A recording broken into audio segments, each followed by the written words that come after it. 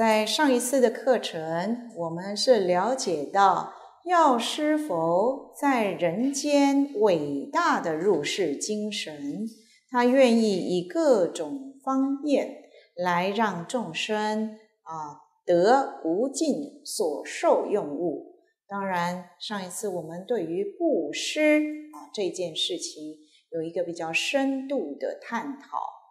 那接下来我们就是要了解佛菩萨的方便，所以众生禀教有方便，能够物理成教地；如果没有方便，就是无方便，不是理成于地。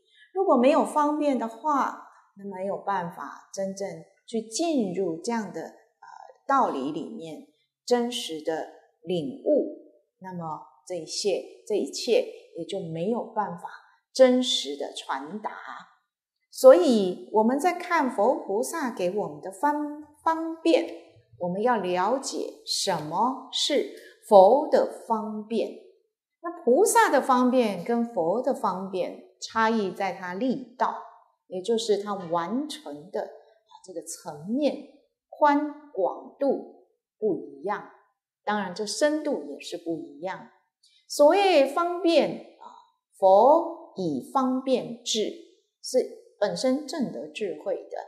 佛以方便智施设三乘的法门，三乘的教法就是声闻缘觉菩萨。所以用这种方便智，又称为全智，也就是全巧方便，也就是佛为了要引导众生。施以筹谋假设之智，那权巧方便与施设方便两者都是佛的善巧方便。善巧方便里面呢，以四智中，我们讲转世成智，四智中的成所作智为体，也就是在这里面呢，啊，根尘上面。这个意识上面，它都能够全部含容，运用众生需要相应的一种办法来啊接引众生，然后让众生能够契入佛所说真正的教理。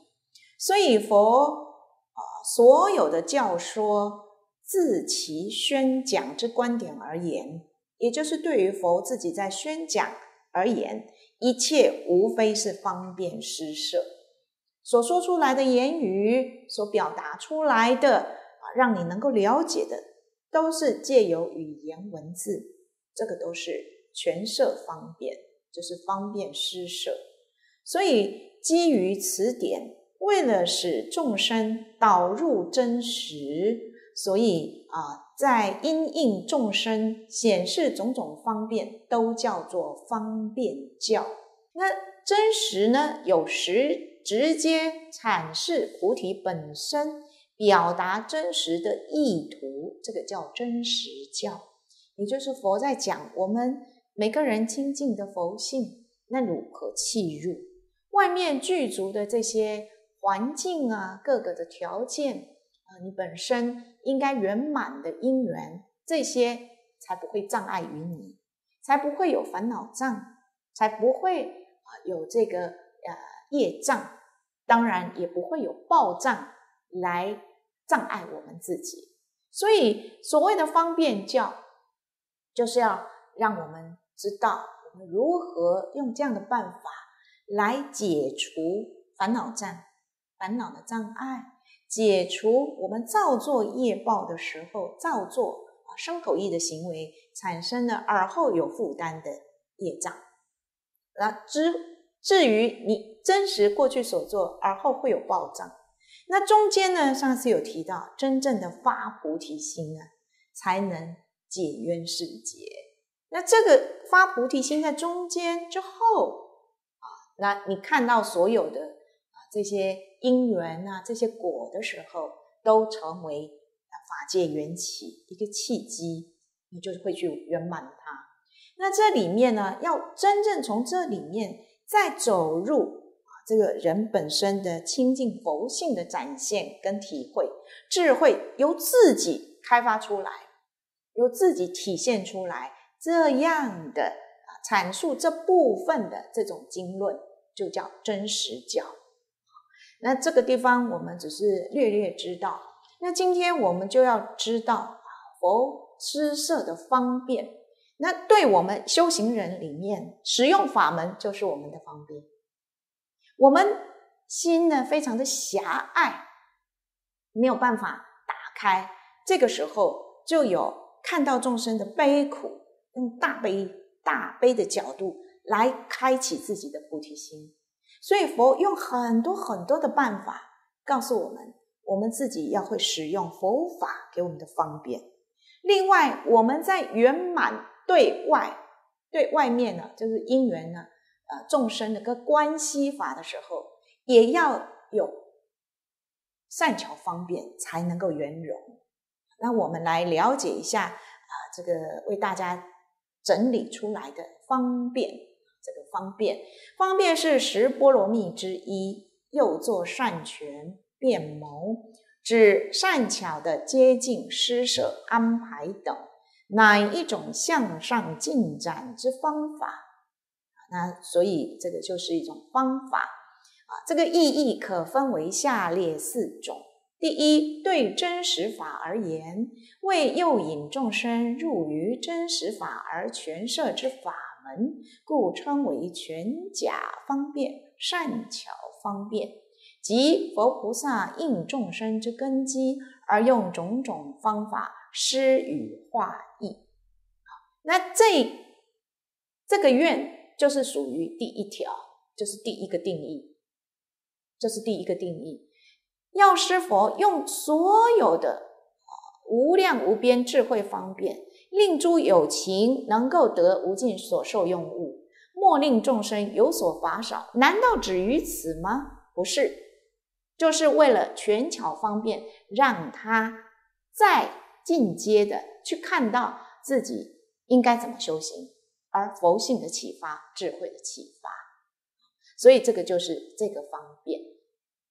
那在开堂的时候，我们有讲众生有标病跟本病，记得吧？啊，所有让我们在现况中产生身心不协调这样的一个混乱、痛苦的情形之下，所使用的各种办法都是叫方便。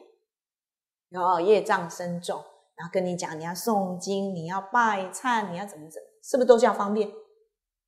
是不是？那如果你真实的进入这一切圆满的时候，好好的能够布施、持戒、忍辱、精进，从开始哦，精进之后呢，禅定能够从有漏的世间不再浮动，而能够真实的止观双运，这个时候进入无漏之间，般若智慧现前。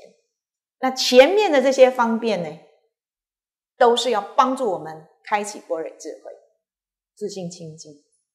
啊，好，那这个就属于第二项。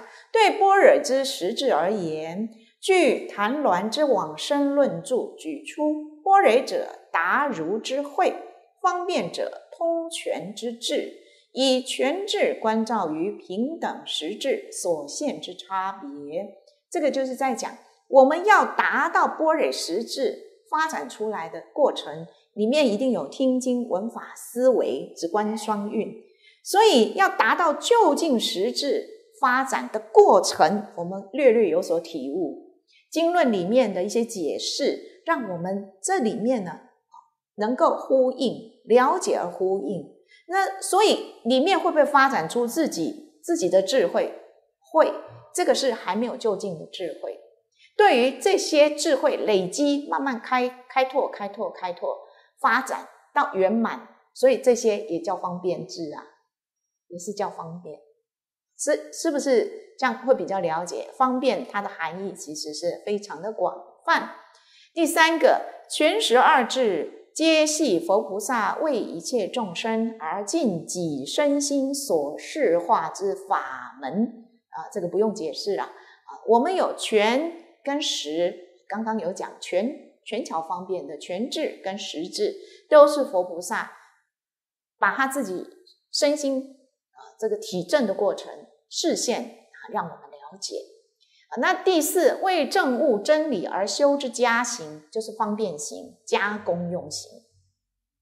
同学，我们好好的礼佛、观佛啊、念佛，那我们好好的禅修，这是不是就叫加功用行？是不是就叫方便行？需不需要方便？要。这个方便是不是为了让自己能够在这上走上去？那像说念佛、观佛，我们这个初初的一念，开始的一念，都是看到自己的业障，看到诸佛菩萨的圆满。所以，我们开始念佛的时候，是不是就要舍掉自己的杂染的这个部分？当我们在舍掉自己杂染的部分，还会回光返照。念佛的人是谁？我为什么要念佛？我念佛的什么？我跟佛有什么关系？当这些反观觉照的时候，这个时候已经不是杂染的，而是能够去看到自己本质里面、本体里面的东西。当你这个一念又起来啊，这个已经没有杂染心了，也没有业障、业报等等的这些，这个时候再开口念一声佛，也就念自自信佛了。前面是不是用比对的，在硬化，自己看到业报身，看到佛的报土报身，可是慢慢在念佛的是谁？等等，这时候再开口一念这个佛，这个我与诸佛是一致，我自己也是佛，佛有的我也有，这个时候完全万缘放下所有一切爆破，这个就是最终念佛啊。那我们。一般如果能了解这样的时候，就发现任何的法门法门，它都有方便的那一块，教你如何念。不管你是一口气总共十口气十念，往生前不是有十念吗？猛吸一口气，然后阿弥陀佛，阿弥陀佛，一直念，念到这口气结束，再一轮精进念佛，还有快速的、慢速的，这些是不是都叫方便？可是最后真正念佛要达到如何体证嘛？这法门啊是殊胜，一样啊！你念哪一尊佛都是一样的。那如果说你禅修的时候开始是不是方便行？因为身口意错乱嘛，所以你学禅修啊，两腿一盘，身不造作，口不发语。意识里面，哎，飘荡的东西开始做整理，要切断，切断前后记，这些是不是方便？到最后是怎么样？是不是要得正，开启智慧？它答案是不是一样？想了解，所以任何的法法门，它都有加工用行前段的这个方便行。了解者，了解的人，不可以把这个方便的行当成结尾。所以法门都是佛施设给我们的，但是他要透过我们必须透过这个法门进去，到最后呢，你能够体证在这里自在解脱，这个就是他最终的目的，而能够证得这个实质与佛一般无二。那接下来我们来了解菩萨的十二巧方便啊，那这个分为体内佛法。就是自己向内修正佛法的时候，你要具足这六种方便，这样子你就不会错乱。那以及外层众生，即向外教导众生的六种方便，就是对内自己修持的时候，你要掌握好这六种方法方便加功用行；对外呢，利他的展现，利他因缘和合所有的一切。那你要次第次第的这样成就，那这个菩提心就稳固。那我们还是这段需要了解啦，毕竟我们是不了解，所以有些时候会对法门怀疑。我有时候会有较量高下，其实都是方便，有什么好较量？任何法门都是一样。有人就半途就自以为在这上面有所领略，这法门用好了，其实还不够，其实是还不够。这是提息一下。那我们先了解起内佛法。起内佛法就是对于自己啊自己本身要开发自己啊这个大慈大悲佛性的时候用的这种六种方便。这个六种方便，第一个悲心顾念一切众生，起大悲心，人性本善，所以悲心顾念一切众生，让我们平等的去看众生，这个时候会起大悲心。这个佛性就是这样，它本身没有分里外上下大小对立，这所有的一切其实都一致。那所以用这样子悲心来顾念一切众生，是不是起大悲心的方便？是不是起大悲心的方便？第二，于生死有为法等诸行，如实了知而生厌离之心，这是起出离心的方便。我们一般来讲，就看生死啊，世间的一切有为法，生灭生灭，然后就知道这些不就近嘛。所以告诉大家，佛告诉我们，这些不要追求，所以你会产生厌离心。厌离心，你就不会积极于追求物质的东西，还是生灭法里面自以为自以为可以掌握的东西。这个是不是为了要起出离心？但是真正菩萨证悟到某个程度，以利他的角度的时候，他在生死中倒是也没有生死的那种恐惧心了。可是开始的时候，我们需不需要去了解？你看，我对生死的恐惧心存在。那生命呢？其实生死不知多少多少次了，就是内心呢，还是一样害怕。生自己参与的都记不得，死就恐惧于他的到来。那这些呢？我们用这样子的观察法来了知而升起厌离之心。当你起了出离心，而不是厌离，厌离跟出离是不一样的哦。厌离是内心有一种启动，启动一种呃决谴责，谴责就是这个很不好，所以我不要。内心还有一点点、一点点抗拒这个生死，就是说我不要，我不要与他，我不能受限于他，是不是有厌离？出离的话呢，是它的存在与不存在，我都不动。那这上面呢是自由的，这才是真的出离。所以我们一般会有先产生厌离之心，也就是方便。那有的人呢，你开始学佛的时候，你就跟他讲说啊，生死一如。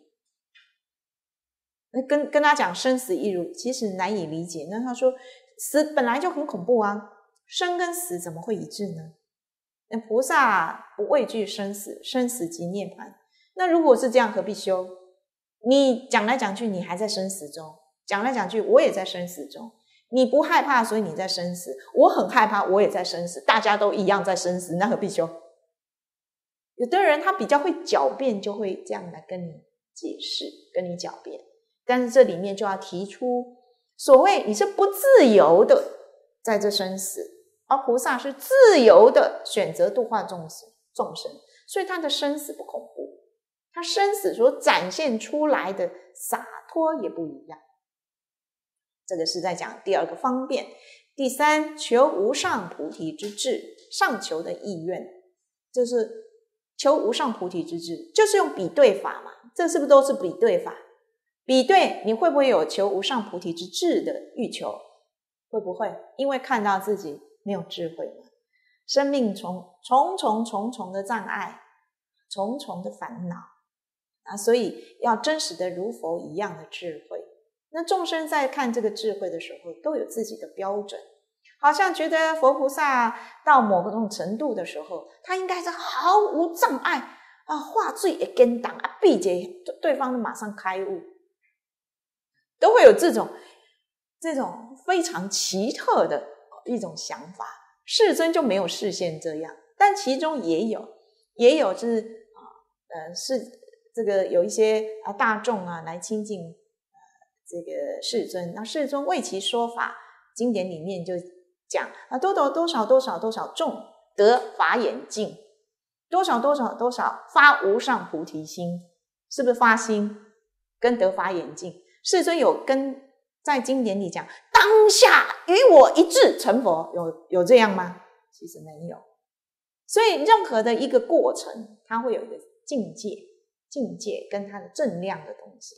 那我们看众生，有些时候其实自己的造作力很很大，自己在这个造作业障的这种意志非常的坚定，所以状况之下，佛在这上面，他知道这个因缘未成熟，他也会，他也不会说强力在这上面有所为熬啊，就是在这上面有什么强力的造作。但我们众生总是希望，我今天学佛了。那听说这个伟大的修行者，那是不是我一直在他的座下，能够快速的如同六祖，对不对？好，那这个大德如何的让他拨云见日？这个这么久这么久，五祖在传授佛法，也这么久这么久，那弟子啊，在那个地方聚集的大众一起在学佛，上千人呢。也不过就是一个六祖慧能大师才能够快速的脱胎换骨，这个因缘契机啊和合的。那本身呢，他自己修正里面的准备功夫啊，再来的菩萨他清净度够。那如果说我们杂染一大堆的状态之下，应该要怎么样？自己的功夫百分之九十九点九都要自己做的，听经闻法要自己听经闻。修正自己生口意，听了不拿来用，没有用的。说着说着说，听着不受法，那这个上面也是不能够达成。你能够拨云见日啊，这个好像有一个什么奇特的办法让你开悟，这是不可能的。所以很多人不能够起这样的一种奇怪的心，就像说我们读好多的经典。这个呃，师傅啊，要这个大德啊，要找到一个嫡传的弟子是非常不容易的。有的参呐，这边参那边参呐，这里一指那里一指，然后到最后呢，才找到度脱他，这个翻过来的那个师傅。前面的难道都不算吗？前面的都算。前面的是一个功夫的功夫，自己功夫上面有下，那。这个因缘和合的时候，哎，可能一片瓦片啊，可能一盆水，也可能一个什么样的机缘，自悟，或是由大德啊一个机锋相对的语词，让我们回光返照而悟开啊，这些每个人的因缘不一样，那这些前面的这一段都叫方便，对不对？那第四，一念众生舍离生死。就是在讲生死是方便哦，四五六都在讲生死问题。一念众生舍离生死，据大乘义章卷十五所示，菩萨一念众生欲计拔之，若自我不出生死之苦，则无以能度，故一念众生而舍生死。所以菩萨对于生死的看法，他其实是怎么样？他看到众生在生死生死里面很痛苦。自己也曾经很痛苦，所以我在修生死生死的苦上面，自己一定要能够出生死之苦，你才能够度众生，告诉他如何处理生死之苦。然后回头再看，回头你看《然具于伽师地论》卷四十五载，菩萨以故恋众生之故而不舍生死，是不是要先怎么样？为了要度化众生，自己必须先了生脱死。了生脱死之后，看到众生的苦的时候，再回头不舍生死来度化众生，是不是一个次第问题？如果你今天哦修行啊，生死啊，生死看一边啦啊，我都无所谓，你都还不知道如何了生脱死，这个死魔这关还没有过，都开始讲哇，生死都不在乎，这是有一点大。大狂大妄语，对不对？你说生死是一定会有的，但是我有了一个啊比较正面的，我愿意去面对。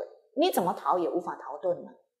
可是你在所有的生灭、生灭、所有的境界、疾病的角度里面，像药师如来十二大愿就会讲到很多疾病啊，这疾病的态度，这个处理上面呢，你要从中慢慢去练习处理呀。到出离，到最后一定会有一个考核。那在生死上面呢，才真的能啊出生死之苦啊！这所有的大德都经过这一段。那这个地方是讲，所以开始啊要呃了生脱死，是不是是为了要不舍生死，是为了要度脱众生？所以生死啊，生死无畏惧，生死无畏惧是他的果。然后中间呢，必须了生脱死，让自己从这个生死苦海、生死的这种桎梏啊，他的这种这种束缚里面走出来。那所以大家要知道自己在什么样的状态。所以有的人为什么需要求生净土？因为他要了生脱死，他要知道。那为什么又有趁愿再来？是不是就后段？那趁愿再来的人，他会不会跟你讲一定要了脱生死？他会不会跟你讲这样？会，他会跟你讲一定要了脱生死，因为你没有了脱生死。可是他自己需不需要再强调了脱生死？对自而言不强调，可是对众生，众生需要这个法的时候，还是要流出了脱生死。这个才是对自己知道本站在哪里，可是对众生施设方便，这样听得懂？但是对己来讲，有些时候有些大的他会直接说出来，他会直接说出来说。啊，他不求往生净土，他要在娑婆度化众生。这里面当然就有他本身的，他本身到底是已经对生死这一关过了的，还是没过了的？这是愿力问题。也就是说，他的次第，他自己证悟的过程，他自己明白。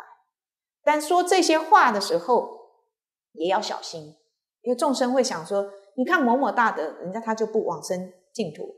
所以我要跟他一样，在娑婆度众生。你可能被众生度，啊，你可能在娑婆里面是轮回的。所以所谓往生净土，是不是意思是我到任何一个有佛的地方去做弟子？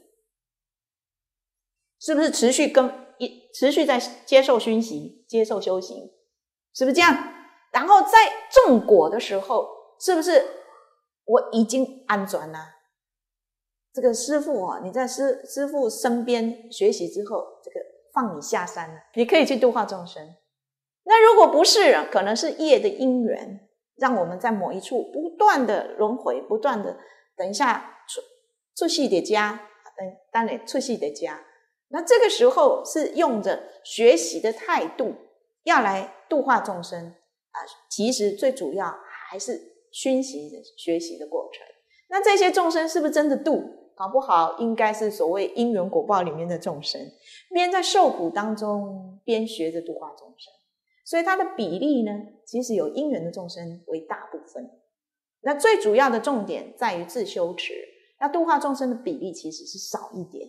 那如果说是趁愿再来的菩萨，他几乎度化众生的比例就好大。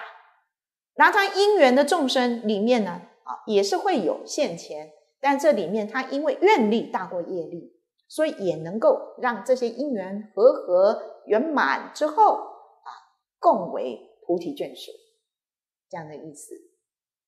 好，那第五个方便啊，这个是呃向内哦，啊，这是向内修正佛法的第五个方便，以无染心安住于生死之轮转，了知生死虚妄无实，故能无染而常处其中。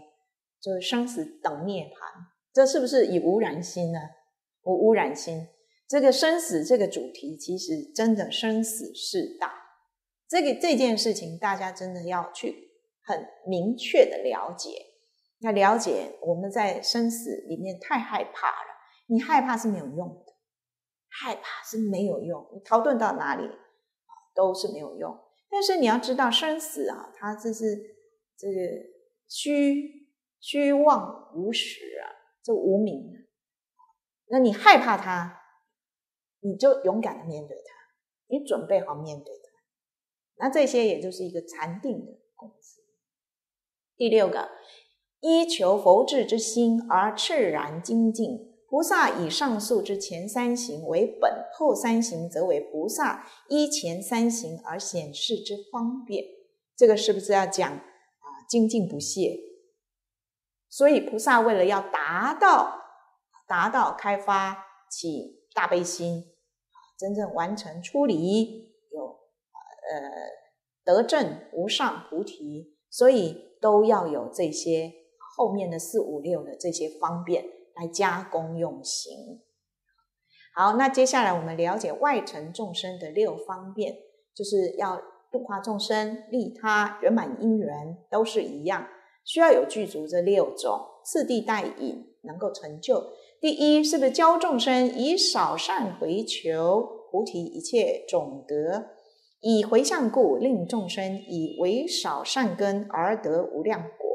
是不是教众生用一点点小小的善，你都要把它？放在哪里？放在好要哦，这个呃得证无上菩提道果哦，所以帮助众生一小点小点就累积，最后就是成就。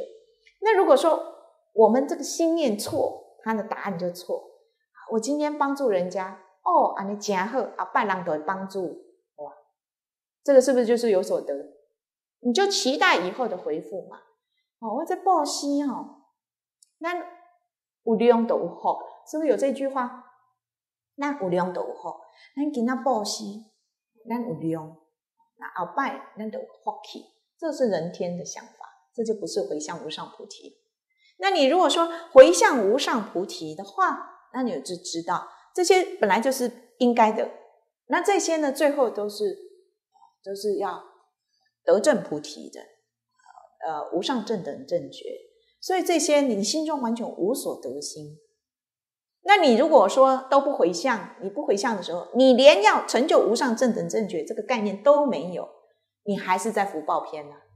因为你的心念呢，当时的起欢喜心，或是看到人家怜悯，也也不过是一个随机的、随机而产生出来的欢喜跟怜悯。那这个欢喜跟怜悯，只要刹那展现，也就是入福嘛。如果你能够回向无上菩提的时候，你是不是会把这个心啊，那个刹那展现的那些也都在洗掉？是不是越来越清净？在做这些的时候，会非常的自然，就是一种自信清净的流露。第二个，教众生舍邪归正，舍小归大，而以如此之为少方便，令众生起无量善。是不是要叫叫众生舍邪归正？下一个愿，第四愿就在讲舍邪归正。我们常常会有一些不大正确的东西，当这些不大正确的呃知见行为，透过善知识的教导、经论的呃开眼，让我们知道，那这个如果有什么样的办法，让自己能够从这里走出来，然后能够帮助众生走出来。这是一个莫大的欢喜之事。第三，令坏法之众生除其暴虐，度化之，令生信心。这个应该很合理吧？有人会伤害人呢，这种暴虐是不是要度化他，让他对佛法、清净法产生信心，也不会伤害别人就是间接得间那间接帮助其他的众生。第四，令处中众生。啊，就是没有信仰的、没有亲近性的无信者生解，而导入佛教正信。那第五，令已入众生，就是以信者起行，而使其成就，是不是解根行？是不是解根行？是不是要帮助众生解，然后行？第六，令已熟众生，就是已发菩提心者得解脱而正果，是不是次第待引？菩萨。在外层众生的六方便里面，就是具足永远不疲倦，永远有意愿。那这样的一个方便善巧，所以呢，才能够度化无量无边的众生。来翻到第二十六页，第二十六页另有六种巧方便行，能令众生怀持佛法。破除弊害而得解脱，也就是这种这六种巧方便行啊，我们呢才能够自己不入魔境，不入魔境，这已经不是在讲我内心发展出来菩提心啊，外面的环境。他说随顺方便，因应众生之性质根器，次第教导，令其误入，是不是要随顺方便，在在处处？第二，利益要方便，众生有求的时候，即以利益为誓约而令其修善。第三，报恩方便，菩萨先施恩于众生。若众生欲报恩时，菩萨不受而劝令修善，所以菩萨会不会施恩于众生？会，可是他心中是不求了，他是不是为了求那个报恩？他这个施恩于众生，只是方便的一种。第四，意向方便，意向方便，对不受教者，视线嗔责、恐怖等相。以令其止恶修善，就是对于这不愿意受教的众生，现那种怒目金刚相，教导他，逆向的考核他，那让他止恶修善，产生一个恐惧心，这是菩萨做得到的。啊，这个我举一个例，有一个师傅啊，一个出家人啊，他开那大家出家，因为这个寺院要建，要建那个大雄宝殿。那这个是他的这个剃度恩师啊，就跟他们说：“大家出去化缘吧，化缘啊，然后这个寺院的大雄宝殿能够早日的圆满。”哦，那这个师兄弟们就分区块，那这很多年很多年前的事，就分区块啊，这一区这一区路线。那如果有什么活动，社会活动嘛，有一些社会的一些。呃，习俗上的节庆，那就出去化。